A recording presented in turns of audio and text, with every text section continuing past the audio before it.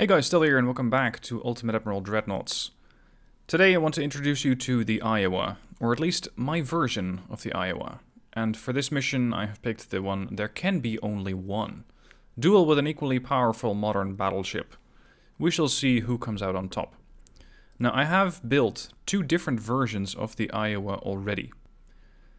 Um, I had tried to stick as close to the possible stats that I could find that is the Wikipedia stats.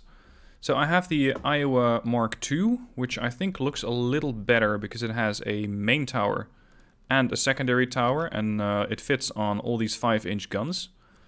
The Iowa, historically, and I'm talking 1943, not the upgraded one with the Tomahawks and the Harpoon anti-ship missiles, it had nine 16-inch guns, two uh, turrets on the bow and one on the stern, and it had 25-inch guns. So this is 10 per side, and on the other side you have the other 10. Now these guns are not terribly accurate, um, especially at longer ranges. You're not likely to hit anything. But they are there, and I wanted to go with a mostly historical build. The Iowa Mark I uh, looks slightly different, but as I have found, performs a little better. The ship has a displacement of 58,400 tons, a speed of 33 knots, as per uh, line with the Iowa, it does have a very small secondary island though, a secondary tower. And I had to squeeze on the secondary 5-inch guns, well, elsewhere, because the secondary tower cannot fit any. To make sure that I still have uh, something that resembles the 5-inch, or the 5 uh, dual uh, guns of the 5-inch, I had to put them over here, which I really don't like. I think the other one looks better, but it seems to be slightly less well defended. I went with Krupp 4, Barbette 3, Anti-Torp 1, Double Hull, Reinforced uh, Mark 2 bulkheads, Anti-Flood 2 and Citadel 5, all or nothing. Over here, I have Citadel 5 Anti-Flood 3, as opposed to Anti-Flood 2. I have uh, the Reinforced Bulkheads, I have a Double Hull, I have absolutely zero torpedo belt, because on this mission I know that the enemy battleship usually doesn't carry torpedoes, uh, or that I'm not going to get that close. As for the armor scheme, these things are incredibly heavily armored. Now, I might have armored them too much. Originally, Iowa, according to again to Wikipedia, had 12.1 inches or 307 millimeters of belt armor. So I went with 12.1. But you're looking at an armor quality of plus 118%, so I'm actually looking at double that. So maybe you could try to just half these numbers. But then again, I don't really want to. I like having these at the original numbers. We also have 12 inch belt extended armor, 6 inch deck armor, 5 inch deck extended.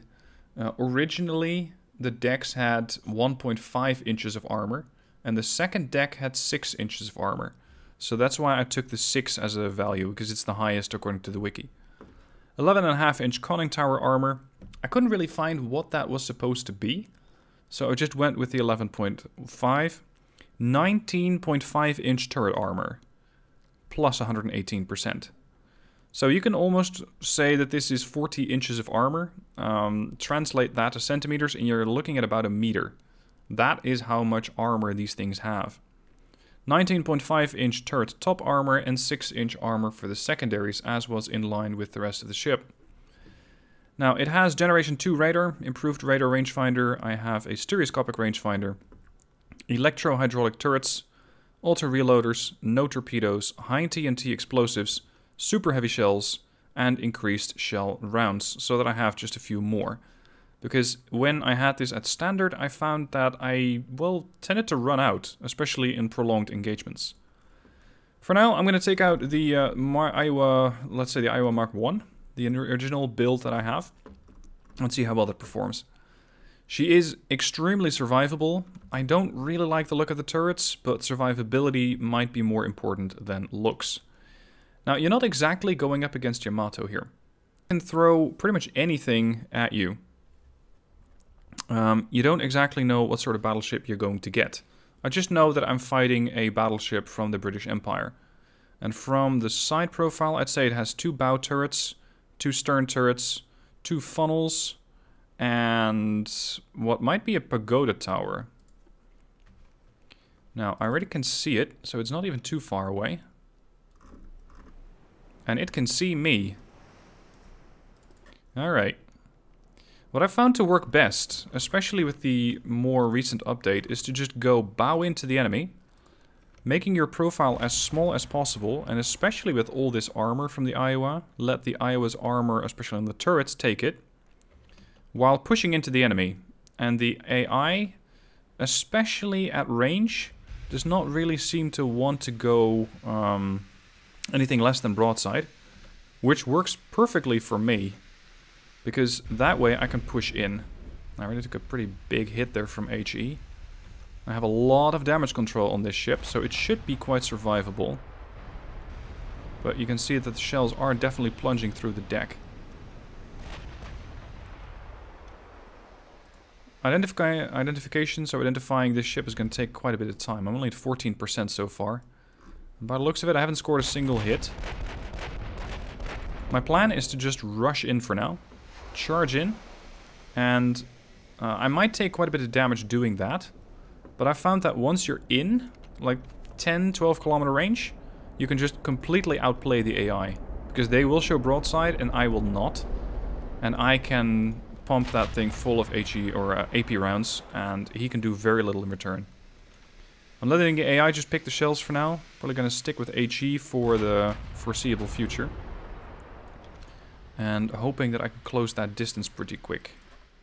Now let's see what I can learn about this ship simply by looking at it.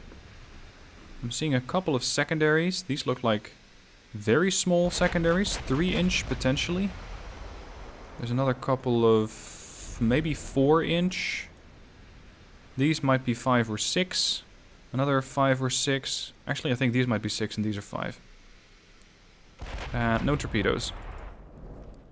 Iowa's taking a bit of a hit again.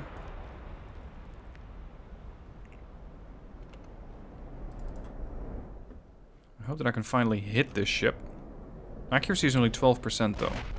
Accuracy is pretty bad, but that's also because I'm rushing into that ship at 30 knots.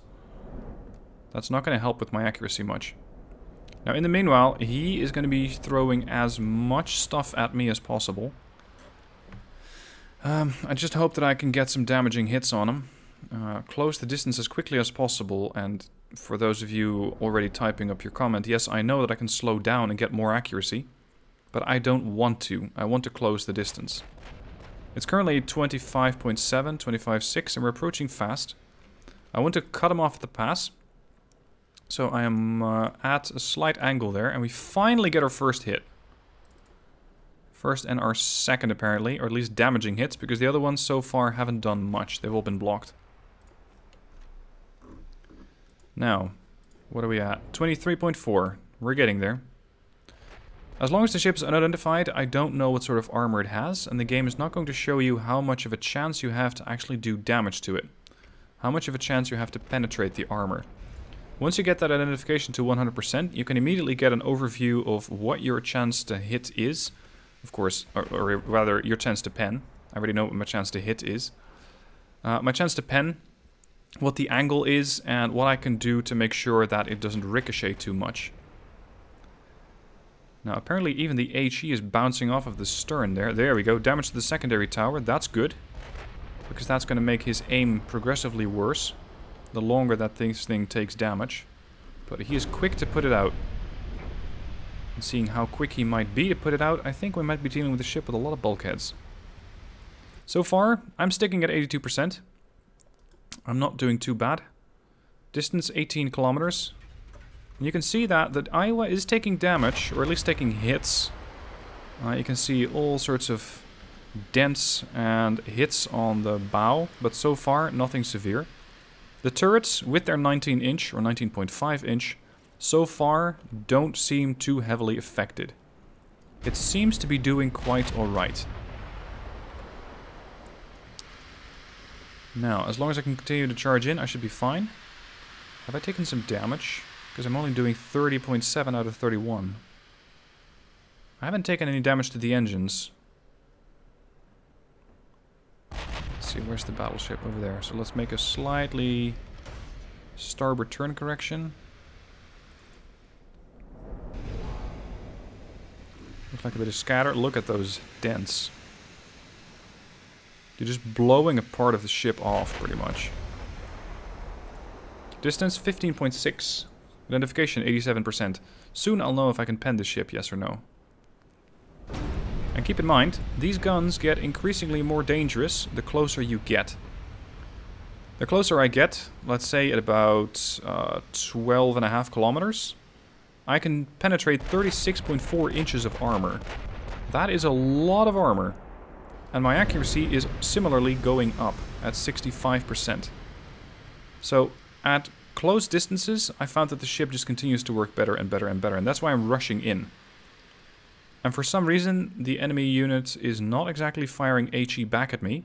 And that could be its downfall because as long as it's firing AP, it won't really do much because it's all going to bounce off. Alright, we have the uh, Illustrious over here with 16 inches of armor plus 98. If you zoom out a little, you can see that I have a 65% chance of penetration. So now I'm going to go with AP. Uh, I have a ricochet chance that is low. I am looking at the side slash deck at 81%, or, uh, 81%, slight angle, and now I'm immediately inflicting flooding because I'm hitting him below the waterline. Important here is that I keep my bow right into the enemy. I don't want this thing to start taking too much damage. A bit of fire, another fire, and so far it's just that one segment on the bow, that's all. Now, Illustrious, Iowa is going to get very accurate and very deadly. Damage to the main gun. Good. The fewer he has of those, the less damage I'm going to take. And that's not the only gun I've damaged. The other gun, uh, this one on the bow, has also taken a pretty good blow. As long as I can keep doing damage to those guns, I can cut his firepower in half. And on top of everything, he is going to get less and less damage output from his secondaries as well.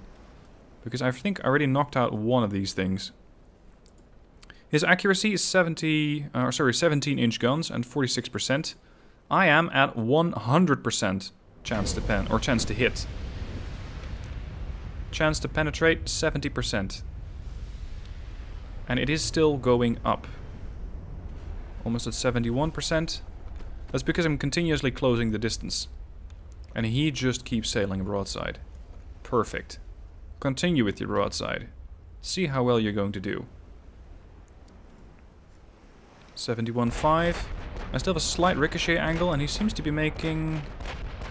Is he turning? He might be making a very genuine, or very slight turn to starboard. I took a bit of damage to my A turret there. 72.3. I'm still looking at pretty perfect flat broadsides there. 85% chance. 5 degree offset on the angle there. I'm looking at the side slash deck, by the way.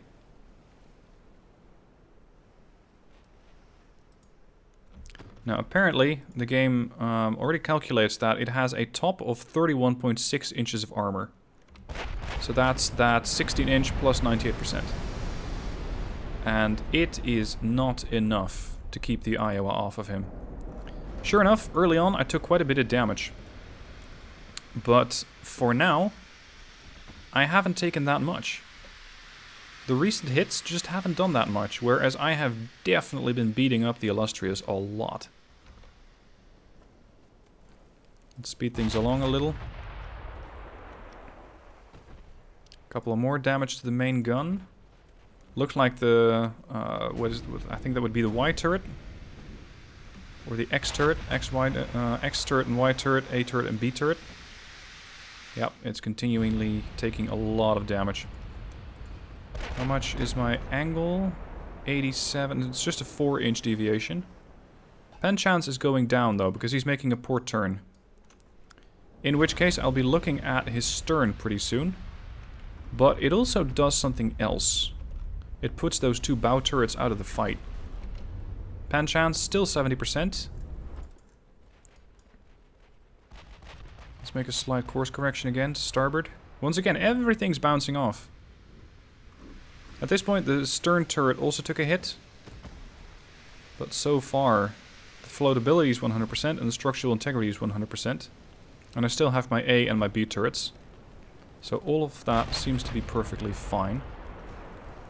Pen chance... 43%. Oh. If it is down to 43%, I'm going to switch to HE. And especially having done quite a bit of damage with AP already, I might be able to knock this thing down further and do some more damage to it, because the armor has taken a pretty bad beating already. So hoping that the HE is going to do a little more. Now sometimes you can see a couple of smaller rounds coming in. Those are uh, the secondaries. This one and that one and potentially the one here. Though it's a little harder to see. Yep, actually all the secondaries are firing. Because they're sort of super firing. Or at least they're positioned so that most of these guns can still fire. Unfortunately, I did lose my funnel. And this is something that the Iowa Mark 1 suffers from. The funnel can get damaged, and I don't have a secondary. The uh, Iowa Mark II does have a secondary funnel, and with that is more survivable, generally. Speaking of survivability, Illustrious is not looking good. The whole hull has been mauled by impacts. The ship is on fire in various locations. It has taken a bit of flooding damage. Structural integrity is down to 30%. It has taken damage to the rudder, to the engines, to the conning tower. It's still on fire and it's still flooding. It's still firing back at me with only two guns.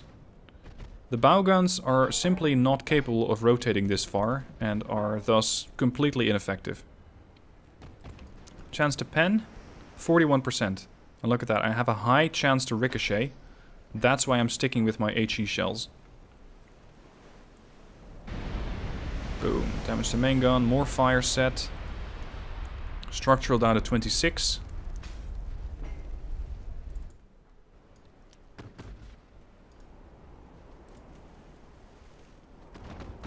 The only thing that I really have to keep focusing on is making sure that I stay on target, that I stay with my bow pointed into the enemy.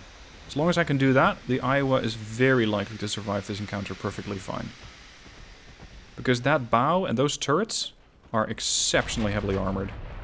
And those turrets, keep in mind, these things are protecting quite a bit. Because, oh, fire is getting a bit in the way of what I wanted to explain. Hopefully we can put that out soon.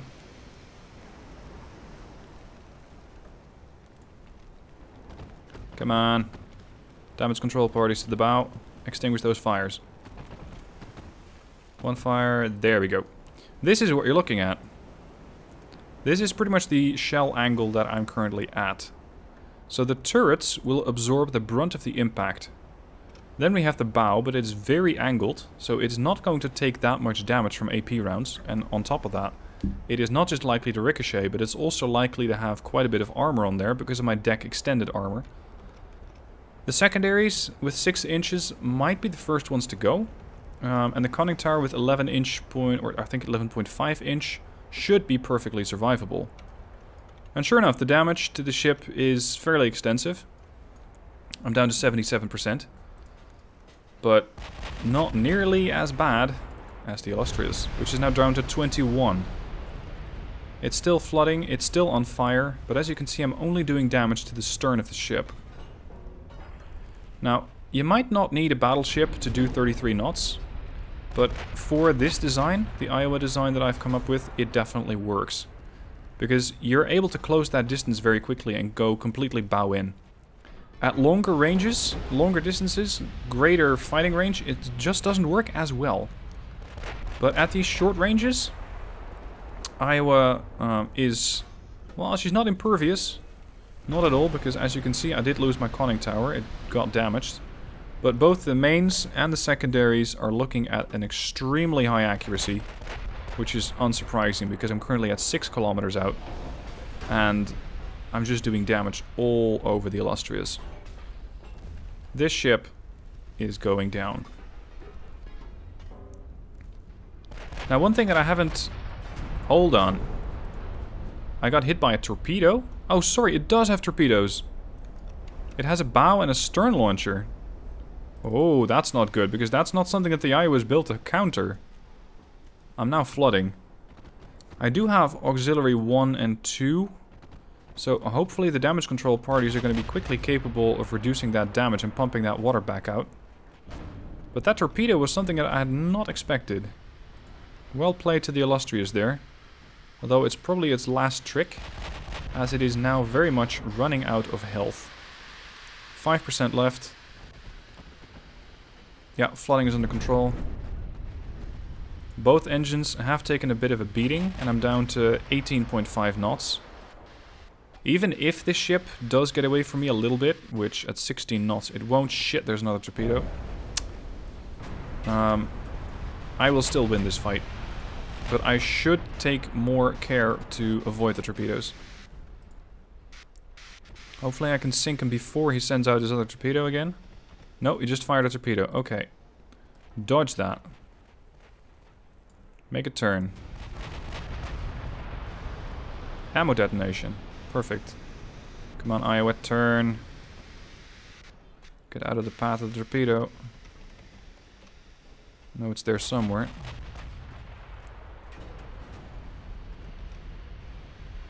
Now, I fought a couple of fights with the Iowa against various designs of the enemy. So various, there's the torpedo, various AI designs. But so far, none of them were armed with torpedoes. So it's actually quite refreshing to see that the AI does arm its battleships with torpedoes every now and then. At this point though, it's down to flooding 14%, structural down to 0.6, floatability 10%, 9. That was quite a bit of damage to the main tower. Now most of the damage that this ship took, the Iowa, it was all thanks to their torpedoes. Those do a load of damage. 47, 175 at the top. But considering that I had quite a bit of additional armor and great damage control parties and many bulkheads, or maximum amount of bulkheads, the torpedo damage was actually contained pretty quickly. Had this ship not had torpedoes, the Illustrious, there's another torpedo. Uh, right now it's finally out. Had it had not that many torpedoes, I think I would have stuck the battle at 68% structural damage or 68% structural integrity. Now, how exactly the Illustrious is still afloat is a pretty big question. Pretty... There we go. She sinks down to heavy flooding. So, Iowa. Uh, of course, this is not the only way that you can build the Iowa. The Iowa Mark II, I personally like the look of a little better. Because the Mark II has two of those funnels. But I believe that I sacrificed something else. I sacrificed my turret top armor. On the other design this was 19.5 and I had far more armor on the deck and the deck extended. But this secondary tower is heavy. That's 6,000 tons. If you're looking at the tower that I used, which is this one, it's a tower that weighs 1,500 tons. So sure enough, this tower looks better, but you are going to be sacrificing a lot of armor with it.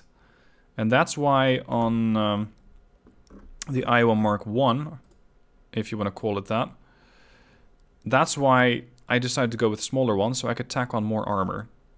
And as you could see in the video, it doesn't really impact accuracy that much, because you can still definitely do quite a lot of damage, despite the fact that uh, you're using a slightly inferior secondary tower.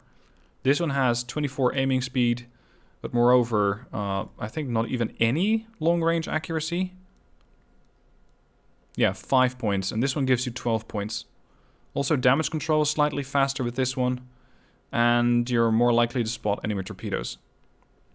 That would have been handy, but the Iowa Mark II not only comes with that, but also anti-flood 2 and anti-torpedo 1. So torpedo damage is automatically reduced by 25%. Now one thing that the game, as far as I know, does not have yet is an ability to just upload or download these designs. So I can make a copy and it's going to copy it into a new ship design tab. But it's not going to copy it into a place where I can share the design with you. If you want to copy it, you're just going to have to do it by hand, I'm afraid, until they actually implement that feature. So um, I would recommend the Iowa base design, 58,400, 33 knots, very short range until the campaign hits, that is, maximum bulkheads, Diesel 2, oil, forced boilers, aux 3.